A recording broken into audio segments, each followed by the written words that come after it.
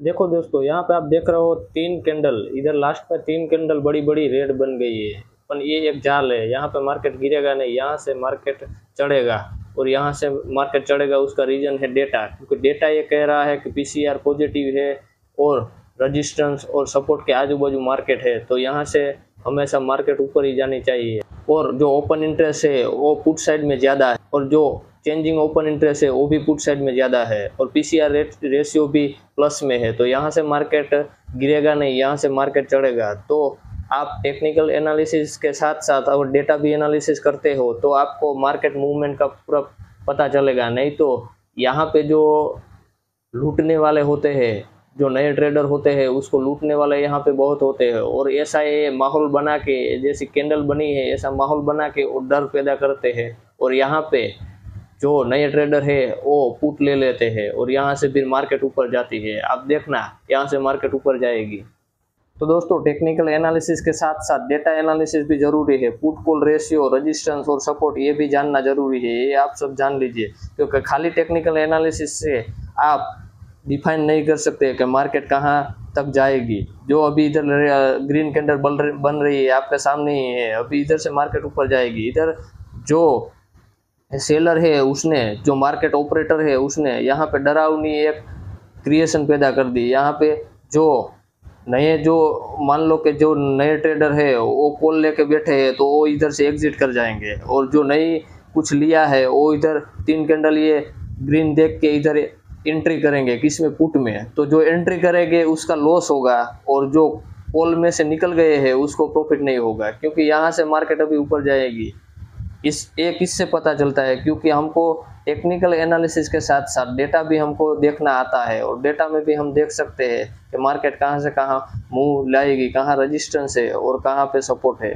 तो टेक्निकल में एक कैंडल स्टिक चार्ट और साथ साथ डेटा एनालिसिस भी हम करते हैं तो हमको पता चल जाता है। और आपको डेटा एनालिसिस करना है तो एन चेंज ऑप्शन पे जाके वहाँ पे एन में आप कोई भी इंडेक्स का डेटा एनालिसिस कर सकते हैं। देखो दोस्तों मैंने आपको कहा था ना ये तीन कैंडल के बाद अभी देखो थोड़ी देर मा, मार्केट साइडवेज रही 10-15 मिनट और डायरेक्ट ग्रीन कैंडल बन गई। यहाँ पे हम देखेंगे कि यहाँ से मार्केट को ऊपर ही जाना है क्योंकि यहाँ पे डेटा है वो पॉजिटिव है। डेटा है वो कहता है मार्केट ऊपर जाएँगी। ये तीन कैंडल स्टिक तो खाली ऑपरेटर ने ट्रेडर को डराने के लिए मार्केट को ऑपरेट किया है। तो हमको टेक्निकल एनालिसिस के साथ साथ ये जो ऑपरेटर गेम खेलते हैं जो न्यू ट्रेडर्स है, उसके साथ गेम खेलते हैं, वो भी समझना ज़रूरी है, नहीं तो बाज़ार में हम लॉस कर बैठेंगे। यहाँ पे एक बड़ी कैंडल आप देख सकते हो ग्रीन बनी है तीन कैंडल के बाद। अभी इधर इसके बाद भी शायद जो ग्रीन रेड कैंडल बनती है, क्योंकि मार्केट का टाइम भी साइडवेज है, थोड़ी देर मार्केट साइडवेज रहेगी, मेरे को ऐसा लगता है। और बाद में यहाँ से मार्केट ऊपर ही जाना है। और मार्केट मान लो उन्नीस के पास है, पर यहाँ से मेरे को लगता है मार्केट चार सौ तक जाएगा, या तो उससे भी आगे जा सकता है। तो यहाँ पे आप देख सकते हो जो आपने ट्रेड लेके रखा है और 400 तक जाता है तो वहाँ पे क्या आप एग्जिट कर सकते हो और वहाँ पे प्रॉफिट कमा सकते हो। पर यहाँ पे हमको खरीदना नहीं है। तीन कैंडल जो दिखी है आपको, वहाँ पे आपको खरीदना नहीं है, क्योंकि हम डेटा देख रहे हैं और डेटा ये बोल रहे हैं कि यहाँ से मार्केट गिरेगी नहीं। तो कैंडल स्टिक और टेक्निकल एनालिसिस के साथ साथ हमको डेटा भी देखना ज़रूरी है और डेटा क्या कहता है वो भी जानना बहुत ही ज़रूरी है। मैंने देखो दोस्तों, इधर मार्केट में तीन कैंडल बनी। मैंने पहले से ही इधर लेके रखा था कॉल, इधर नीचे लेके रखा था। फिर भी मेरा इधर तक मार्केट गई और सेल नहीं किया, क्योंकि मेरे को डेटा ऐसा लगता है डेटा पॉजिटिव था, इसलिए मैंने सेल नहीं किया। और वापस नीचे इधर तक आया तो मेरी जगह कोई दूसरा और होता न्यू ट्रेडर तो वो इधर एग्जिट ले लेता। तो मैं एग्जिट नहीं ली, क्योंकि मेरे को पता था ये ऑपरेटर का जाल है। और ये तीन कैंडल के बाद यहाँ से ग्रीन कैंडल बोलेगी, मैंने आपको बताया था। और मैं अभी भी मेरी पोजिशन बना के रखी है। तो यहाँ पे जो मार्केट में ऑपरेटर है, वो डराते हैं और मार्केट में जो ऑपरेटर हो ट्रेडर को डराते हैं। तीन कैंडल पे हमें भले ऐसा लगता है कि यहाँ से मार्केट गिरेगी, पर ऐसी कैंडल पे हमें खरीदी नहीं करनी है और वो पता कैसे चलेगा? वो पता चलेगा डेटा एनालिसिस से। अगर आप टेक्निकल में कैंडल में टेक्निकल एनालिसिस में देखते हो तो आपको ऐसा लगेगा कि यहाँ से मार्केट गिरेगी।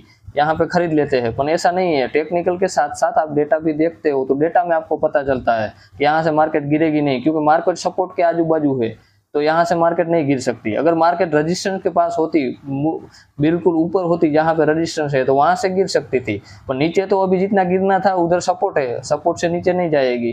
तो यहाँ से ये हमको पता चलता है, अगर डेटा देखते हैं तो। खाली टेक्निकल एनालिसिस कैंडल टिक देख के चार्ट देख के हम करेंगे तो वो साठ सत्तर परसेंट जितना होता दोस्तों, मैंने आपको बताया था, तीन कैंडल के बाद आपको पुट नहीं खरीदना है और कॉल रखा है तो उसको होल्ड करके रखना है, क्योंकि इधर ऑपरेटर मार्केट को ऑपरेट कर रहे हैं और मेरा अंदाज़ा था 400 तक मार्केट जाएगा तो आप अभी देख सकते हो मार्केट 404 तक चला गया है और यहाँ पे मैंने जो मेरी पोजीशन थी, उधर पे मैंने प्रॉफिट बुक कर लिया है।